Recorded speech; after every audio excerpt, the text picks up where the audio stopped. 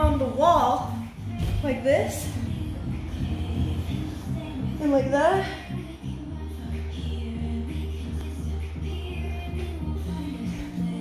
But keep in mind when you're doing that, you're always having these pull out.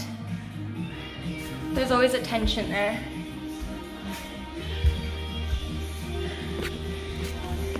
You can do these.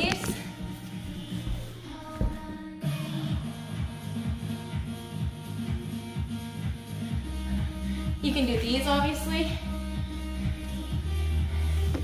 Um, what else can you do? You could just do like those.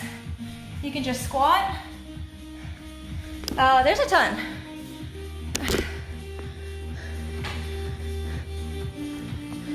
That's like I actually uses